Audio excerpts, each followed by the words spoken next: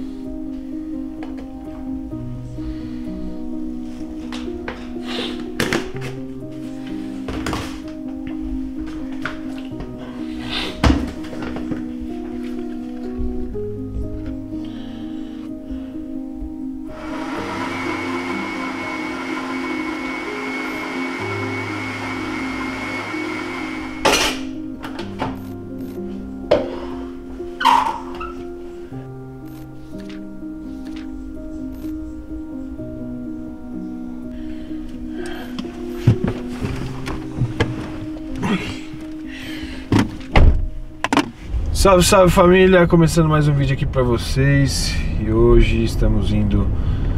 Agora são 8h30 da manhã Quinta-feira. Indo lá pra Academia Overall. Hoje a gente vai fazer um treinão de dorsal Aos comandos do Fabrício Pachaloc é, Vai treinar eu e o Nescau. E o Pacho vai puxar o treino aí pra gente. Vocês sabem o Vitor tá viajando lá pra Europa. Então essa semana eu tô treinando com os meninos Com o Pacho e com o Nescau e eles fazem o dia de treino de dorsal, dois treinos, dois períodos de treino no dia. Então um agora às 9 da manhã e o outro às 5 da tarde. É, basicamente o primeiro treino é puxada, né? Chegando lá vamos conversar com o Pacho e tal. Pra ele explicar um pouco melhor para vocês. Vocês viram aí, a gente fez um vídeo já mostrando esse treino aí da última vez, mas o Pacho não tava. Então dessa vez eu quero trocar essa ideia com ele, entender, né, o porquê dessa divisão qual que é a ideia e tal e falar aí para vocês, mostrar para vocês. Mas o primeiro treino é basicamente puxada, né? Todas as puxadas e o segundo período de treino é remada. Então, vamos fazer, vamos ver como que vai ser o pump hoje. Aqui em Curitiba tá friozinho de novo, então tomar bastante cuidado, aquecer bastante, porque essa mudança de clima assim, até o corpo se adaptar, a gente tem que sempre tomar muito cuidado, né? Se você mora em uma cidade fria, toma muito cuidado antes de treinar, porque qualquer descuido da sua parte pode ocasionar uma lesão aí se você começa a treinar sem aquecer, sem o sangue estar tá correndo ali, né, quente no seu corpo, é muito perigoso. Então por isso que eu estou chegando um pouquinho adiantado, vou fazer uma esteirinha lá, aquecer bastante, fazer uma panturrilha. E a hora que os meninos chegarem já vou estar bem aquecido e a gente começa a fazer o treino. Mas do mais, é isso. Estamos aí há 14 semanas do campeonato. Tá passando rápido, né? A gente começou a mostrar aqui pra vocês com 20 semanas, Matheus. 20 semanas, né? Acho que foi 18. 18 semanas, a gente começou a mostrar aqui a preparação para vocês. Então, dessas seis semanas que eu estou em preparação eu já gostei, já mudei bastante, né? Mudei bastante físico assim, a composição corporal. Mantive o peso ali estável, 124, 125 e mudou bastante a composição. Isso é bom, o Cris está gostando aí do, do trabalho que a gente está fazendo, eu também estou gostando bastante. E com relação às perguntas que a galera, pô Rafa, você vai voltar para os Estados Unidos? Quando? Quando que vai para lá e tal? Eu estou analisando ainda, né? A gente viu algumas notícias aí que talvez em setembro vai abrir as fronteiras, então estamos esperando aí ansiosamente para que isso seja verdade. Se isso for verdade, provavelmente em setembro eu volto para lá para fazer esse final de preparação lá. Pelo menos aí umas 10 semanas. É, se não for verdade, eu vou tentar voltar em setembro mesmo assim, só que aí tem que fazer a quarentena no México, então tem que analisar, tem que analisar para ver se realmente compensa, né, fazer uma viagem aí de três países para depois competir, porque vou ter que sair daqui ir pro México, ficar 15 dias no México, aí vai para os Estados Unidos, fica lá nos Estados Unidos, aí depois vai lá para para Romênia. Então tem que analisar certinho para ver se vale a pena fazer todo esse trâmite. Se abrir a fronteira, com certeza vale a pena, né? Porque, porra, conseguir fazer a finalização lá e viajar daqui direto para os Estados Unidos, conseguir fazer a finalização lá com Flex, com certeza vai fazer diferença. Mas estamos no aguardo aí, qualquer novidade a gente fala aqui para vocês, deixa vocês a par aí das notícias, tá bom? Então é isso, galera. Espero que vocês estejam gostando aí os vídeos do canal. A gente está variando bastante aí no formato de gravação, então coloque aí nos comentários que tipo de vídeo que vocês mais gostam de ver aqui no canal, tá? Que daí a gente vai sempre priorizar aí o que vocês gostam, né? Porque a gente faz esses vídeos aqui para vocês. Fechou? Então é isso aí, vamos lá para academia overall, fazer um treinão de dorsal e vocês vão acompanhar. Tomar aqui minha cafeína. Porque eu sem cafeína não sou nada.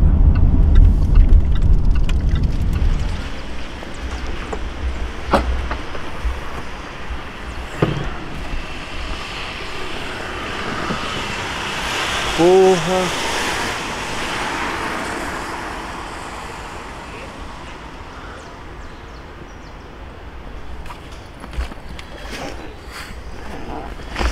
Caralho, Matheus. Presta atenção, cara.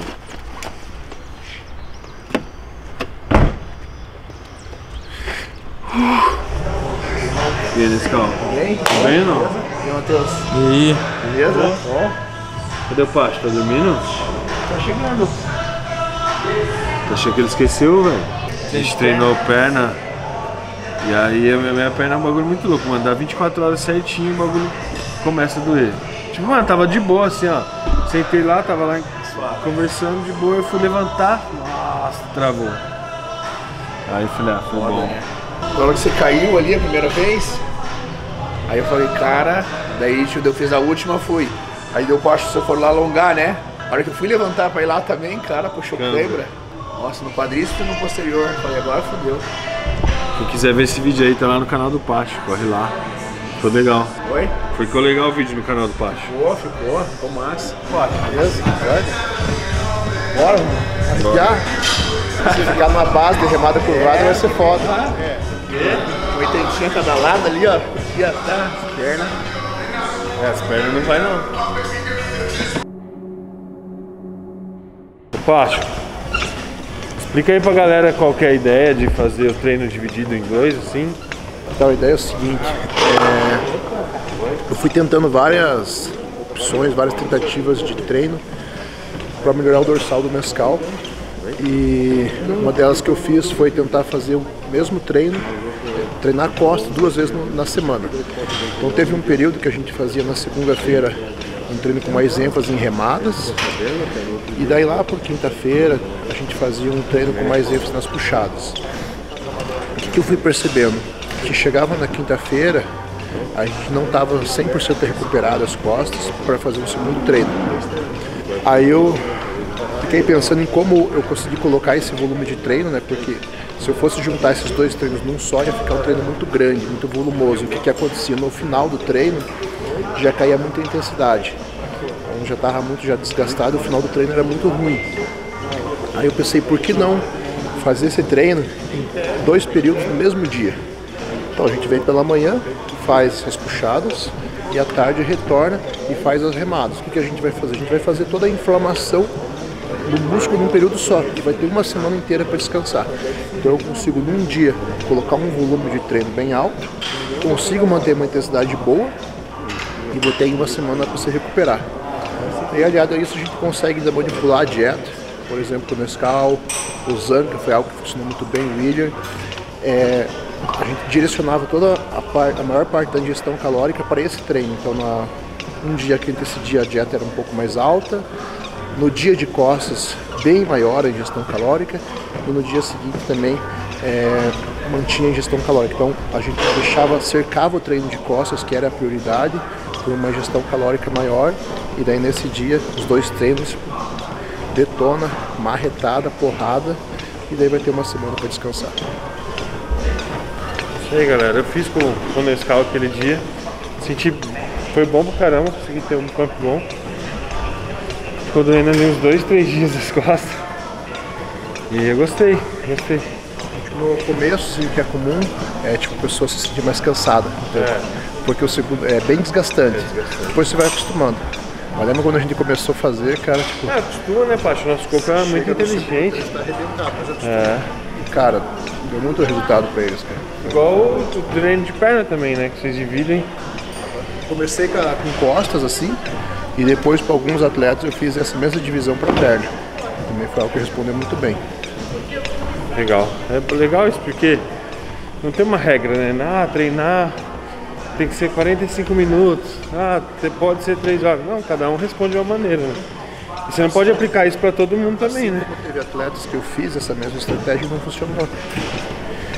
Eu percebi também que foi é um atleta muito bom que eu tentei essa alternativa, só que ele é um cara que não mora aqui e ele treina sozinho. Então o que, que eu, eu acredito que aconteceu? Eu acredito que para ele esse estímulo num dia só não foi o suficiente. Ele não conseguiu dar intensidade sozinho máxima. atingir. Aí ele acabava dando um estímulo na semana e acho que isso aí não compensou. Então para esse cara, os dois estímulos na semana foi o que funcionou foi melhor. Porque ele faz um no começo da semana, não é tão intenso, ele consegue recuperar até quinta-feira e faz outro. Oh, legal, legal essa estratégia. Pro Zank e pro William ainda a gente tava fazendo uma estratégia, o Nescau vai entrar nessa agora também. A gente faz esse treino e daí lá no final de semana eles repetem daí só um estímulo. Tipo no dia que o Zank vai treinar braço, o William também, eles fazem uns dois exercícios para costas, tipo uma puxada, ele dá um estímulo e uma remada. Bem submáximo mesmo. Foi mais uma coisinha ali que eu achei que mais um deu mais um detalhe. É, legal. O Dorian a gente treinava uma vez o músculo por semana só. Então ele descansava aí a semana inteira. Porrada, né? É. Pancada. Tipo treino de perna, terça. ah, treino de perna ainda dá pra ir mais um pouquinho, né, Fácil? Mas o Nescau tava morto aí, velho. O Nescau arriou. Tá, tá voltando. Confere lá no meu canal, tem esse treino. Lembra? O Nescau ficou duas horas pra ir embora, cara. Ficou aqui branco, o Nescau tava pálido. Tinha as passadas ainda pra fazer.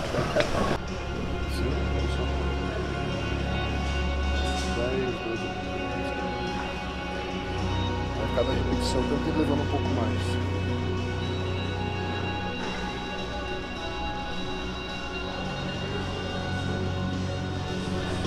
Galera, isso aqui é bem legal. Pra quem é atleta de fisiculturismo, vai fazer o duplo bíceps, às vezes o cara não tem a mobilidade para conseguir encaixar e mostrar o dorsal. Fica, então, esse aqui fica um tipo de mobilidade que vai ajudar.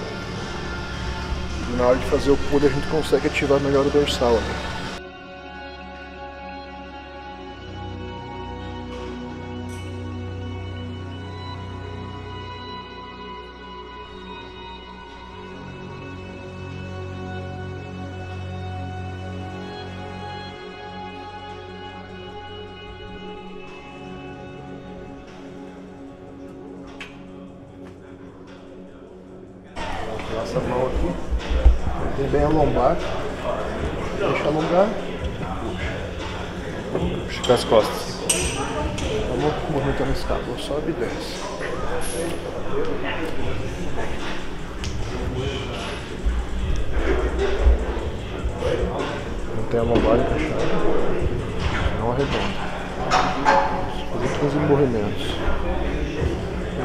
Subida tenta subir mais, a cada descida tenta trazer mais.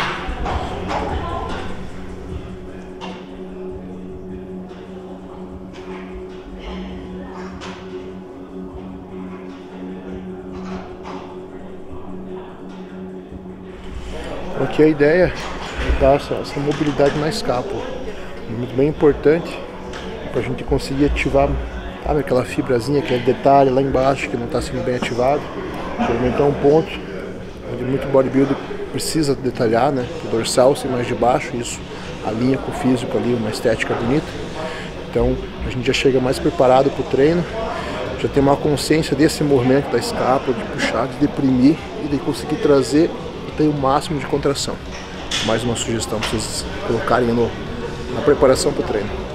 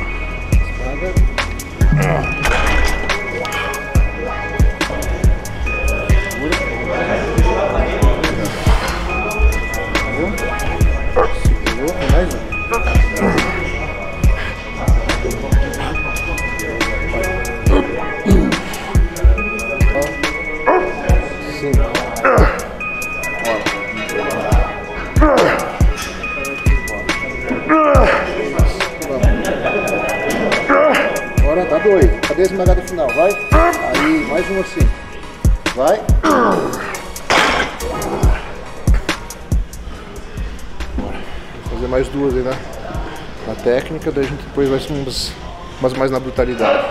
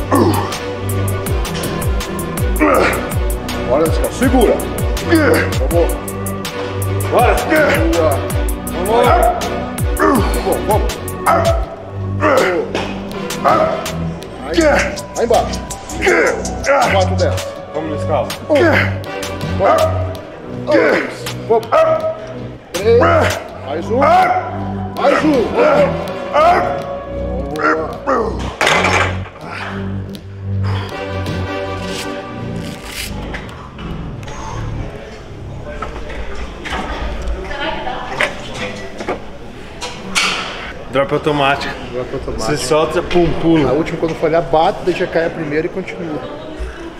Quebra o vidro e pau. É, torcer pra ela pular pra cá. Sorte. Brutalidade, né? Técnica com brutalidade.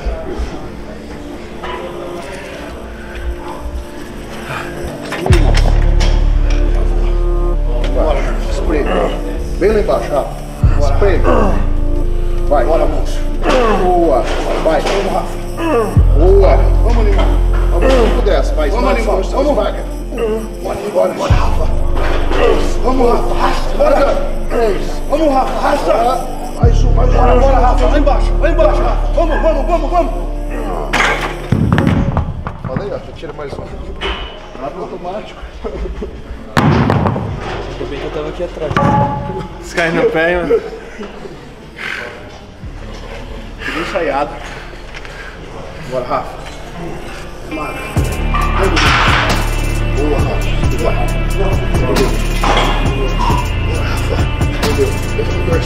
Bora, ajuda. Vamos, bora.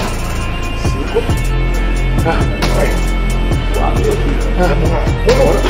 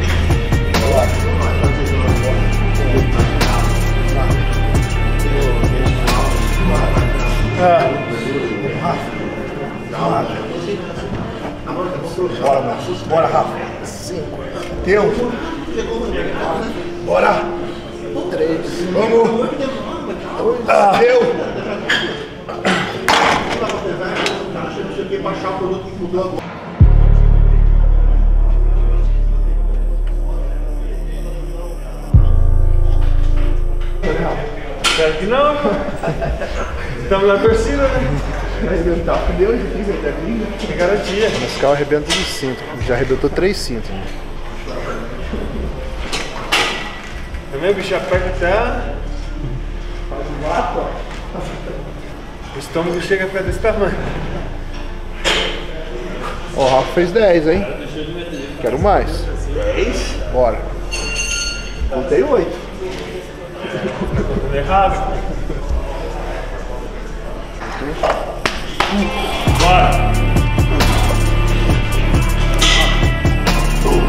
Bora.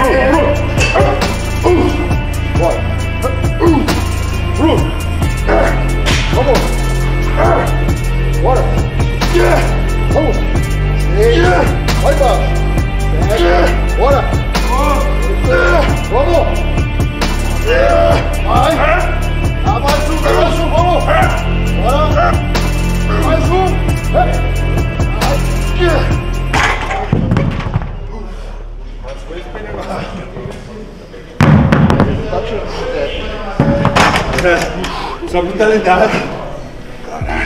Bora. Bora nesse carro. Ficou ruim o banco. Vai. Só lá embaixo. Vamos! Vai. Esmaga. Esmaga. Bora.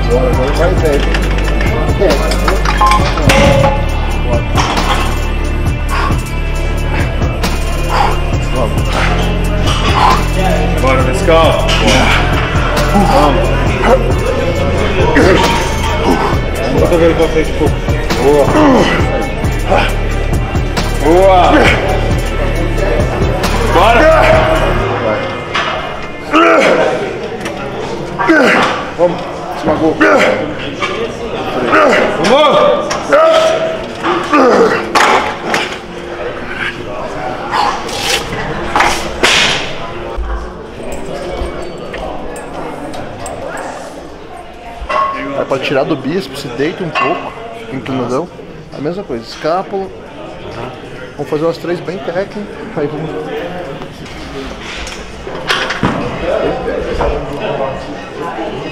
Só escápula primeiro.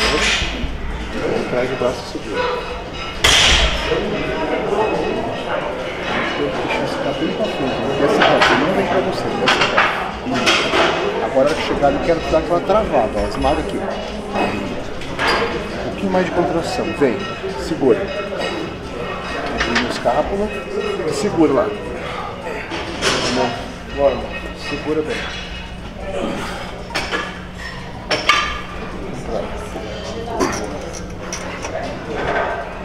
Vai. Depois já pra baixo. Agora, 5 10.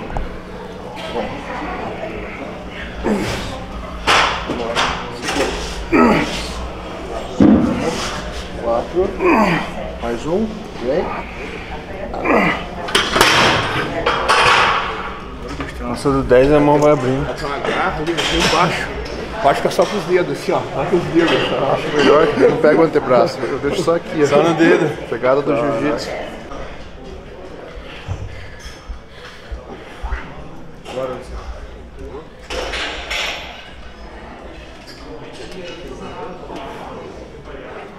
Escápula.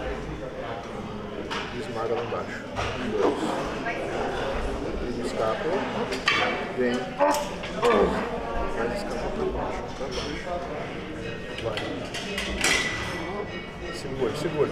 pra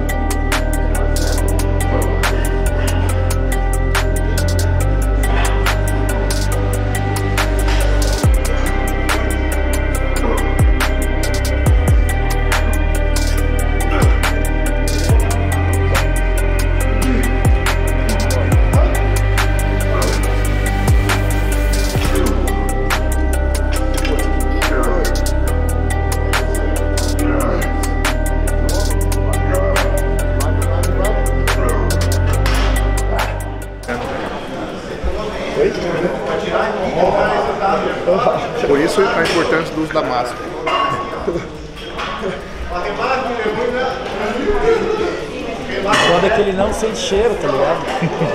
É, mas os outros é. Pior que é eu não merda. sinto também.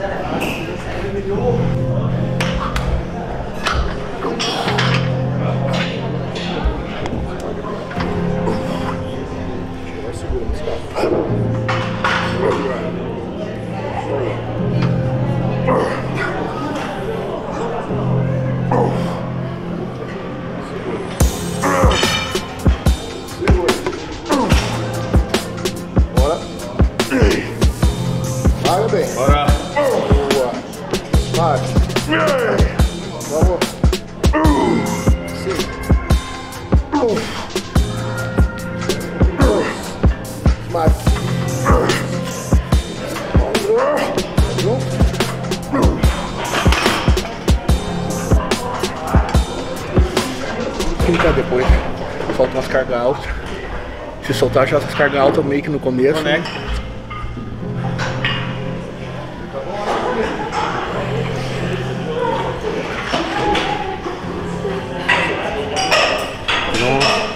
O antebraço virar uma pedra. Da coisa lá do. Como é aquela do. Não é do lipiste. Tem uma que os caras fazem aqui, né? Aqui tem uma lá em cima. Como é que é o nome da viva? Mas também Aquela não é coisa- faixa- Frank Zane. E o Pacho foi cagado. No meio do treino. Aí ele sentiu a pressão da. O Pacho sentiu a pressão no meio do treino. Acho que ele tá ajudando demais. É, dá muita. Mais uma paralela aqui, ó. Tinha papel lá, Pacho? Zoando, né? Tinha, tinha. Tinha bastante. Vazou, ele já aumentou o peso. Tem que eles iam me zoar a que eu te voltasse. Tem que ficar esperto pros caras não filmar que vem do banheiro. Mete a câmera lá por baixo. Dos anchors, cara. Tá guardado. É. Se ele não se comportar, eu solto. A gente tem uma mão de macaco, cara. A mão nem gira, cara. A mão no vidro, né?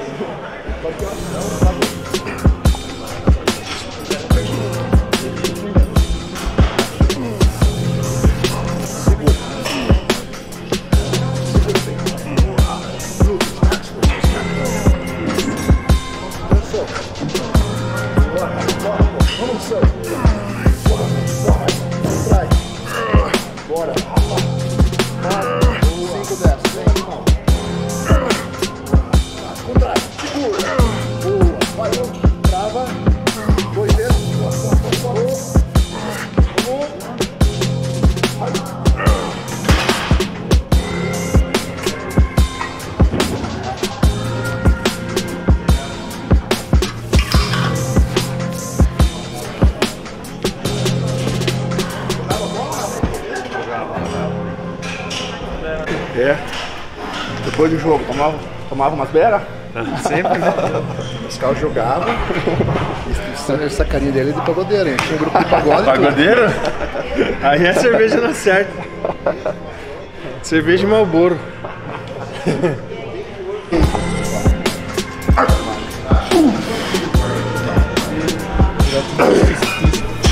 Segura.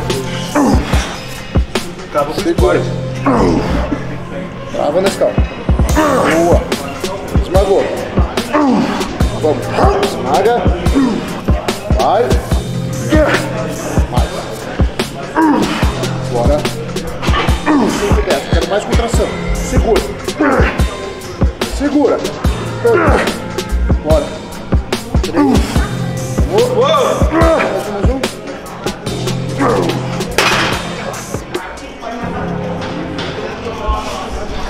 Tinha grupo de pagode nesse carro?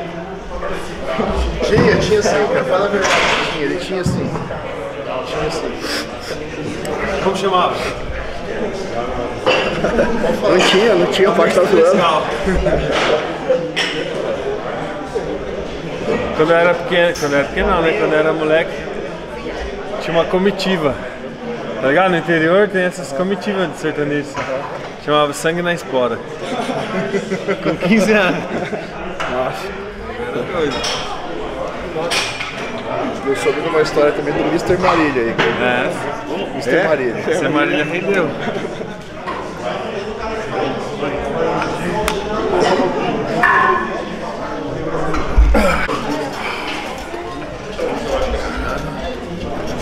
Último aqui? Vamos ver se fica fácil, eu coloco mais um.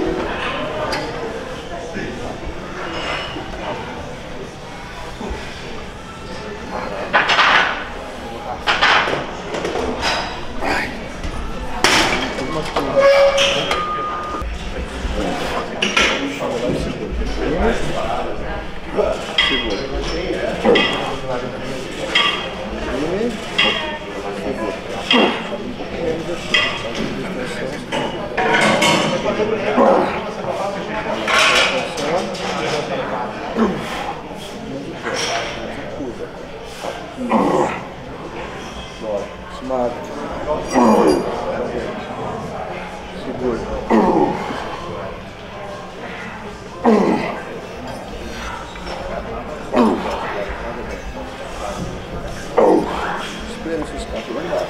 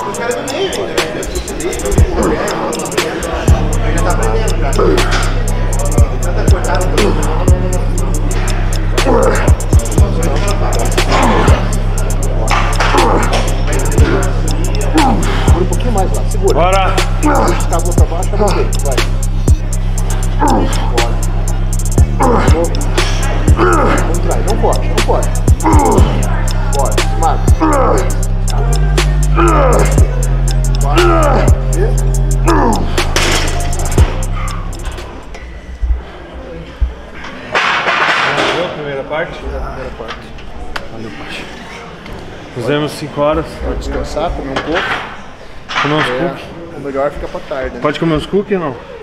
Meus calzinhos eu coloquei hoje. Tem, tem, né? Tem hoje, né?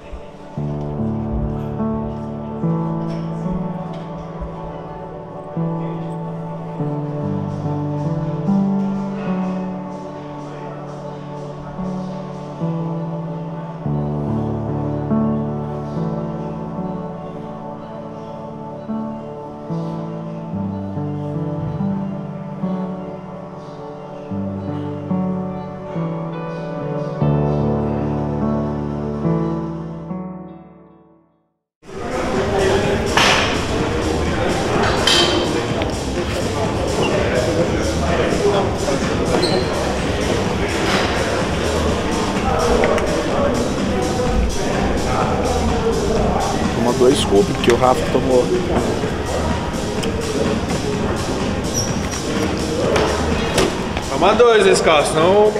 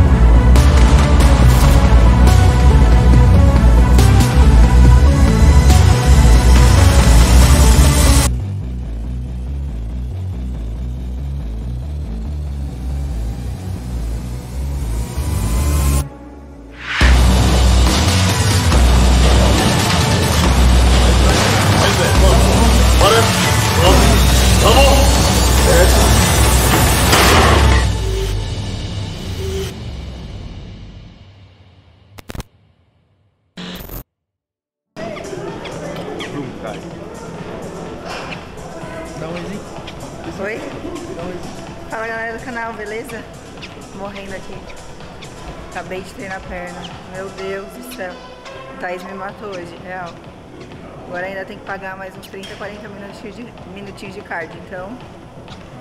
Vamos lá.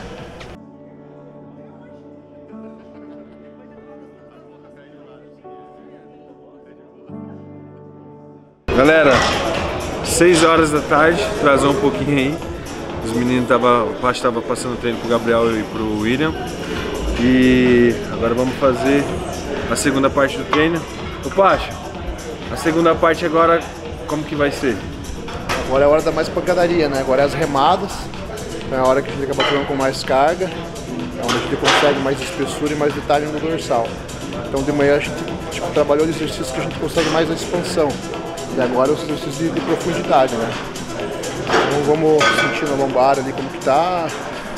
Teve o treino de perna dessa semana que foi pesado, então a gente tem que se preocupar bem com, com a saúde né, das articulações deles.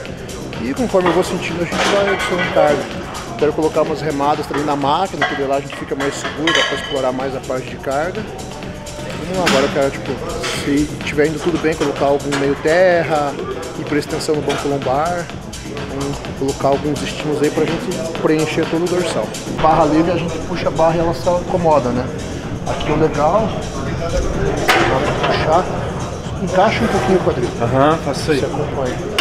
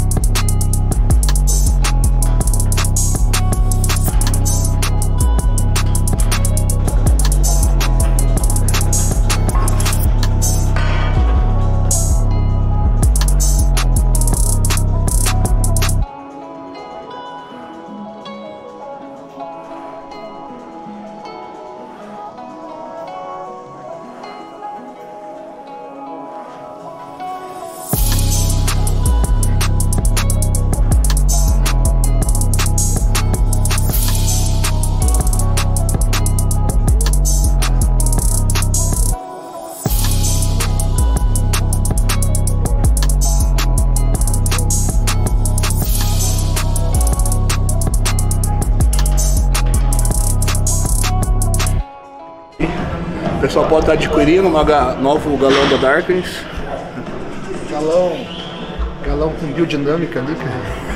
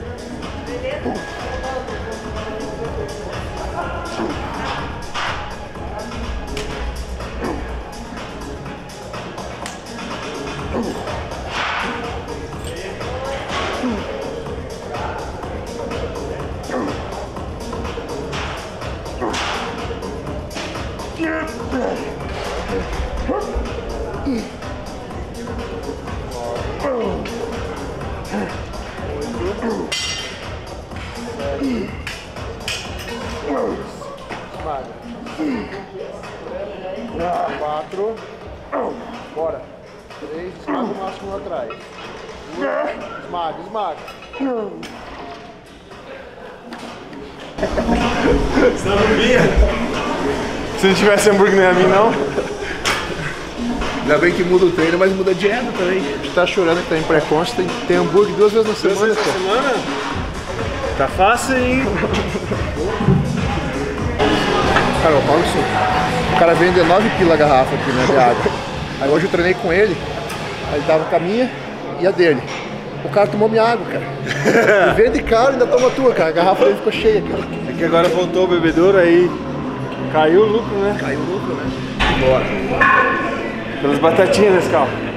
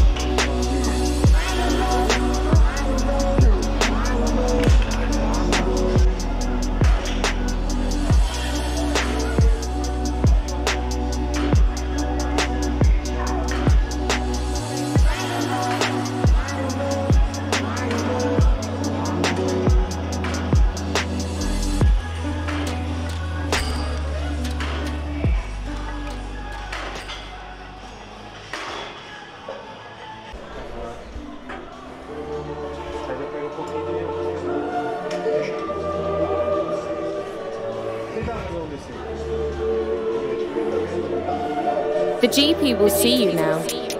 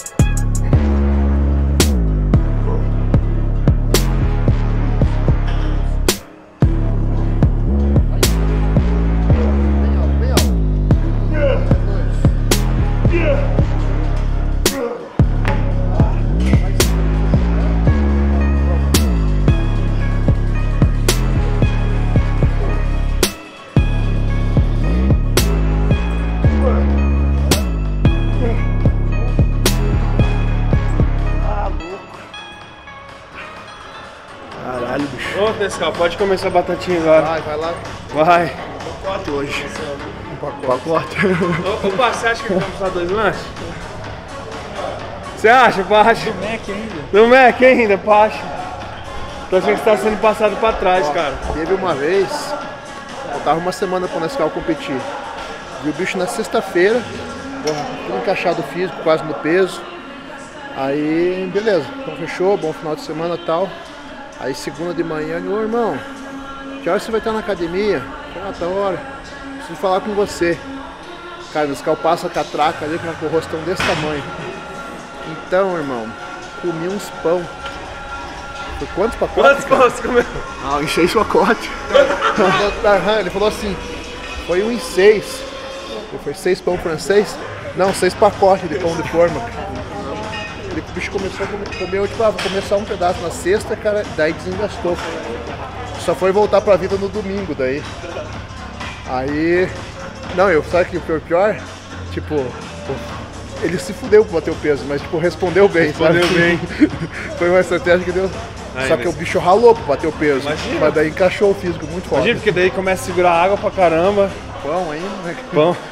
Seis, seis pacotes. Tenho. Tamo junto. Bom demais treinar com vocês, Nescau. Não, prazer, Obrigadão. irmão. Obrigado aí. Deus abençoe. Vamos lá ver como ficou. Se ficou alguma coisa. É que daí tem que classificar, né, cara? Então, Ah, o Sardinhas depois só. 43 dias. Você vai pra Cascavel 22 dias. Não, mas é que eu já paguei estreia antes, de novo, isso tudo lá. vou deixar- É que tem, um- tem uma Muscle Contest depois do Sardinha, daí talvez em outubro, daí talvez dá pra ir nele. Em São Paulo? Esse é em, no Rio, Ah, acho. no Rio. Não, esse é São Paulo. Não, tem é, Expo Center lá. Expo Center. É esse daí. O Paty tá com todos os. Não, ali, ó. Deitar o não, dia. não, Essa foi. Esse classifica por Olímpia? O Muscle Contest? deixa antes. É antes? É, se, se, o Sardinha. Não, Sardinha depois. É depois, depois. Mas daí fica bacana, né? Quando pega o sardinha, daí vai pro emenda, é o que eu pensei.